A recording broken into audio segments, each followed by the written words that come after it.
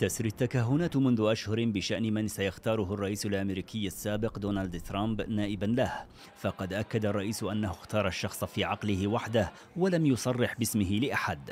خاصة وأن دونالد ترامب يعرف بالقرارات المفاجئة حتى لمستشاريه أحيانا وهو ما يجعل من الصعب معرفة الشخصية التي وقع عليها الاختيار من بين ثمانية متنافسين على الأقل نصفهم من أعضاء مجلس الشيوخ حسب ما كشف عنه مطلعون على الأمر.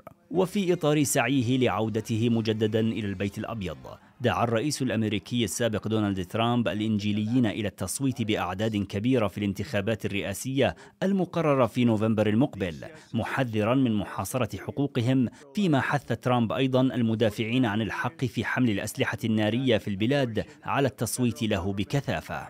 تأتي جهود ترامب الرامية إلى حشد الناخبين قبل مواجهة منافسه الديمقراطي الرئيس الحالي جو بايدن في مواجهة تلفزيونية الخميس القادم وقبل أربعة أشهر من الانتخابات الرئاسية. لكن ترشح ترامب لن يصبح رسميا قبل انعقاد مؤتمر الحزب الجمهوري بولاية ويسكونسون في يوليو المقبل. ومن المقرر أن يختار الديمقراطيون مرشحهم رسميا في شيكاغو في أغسطس المقبل.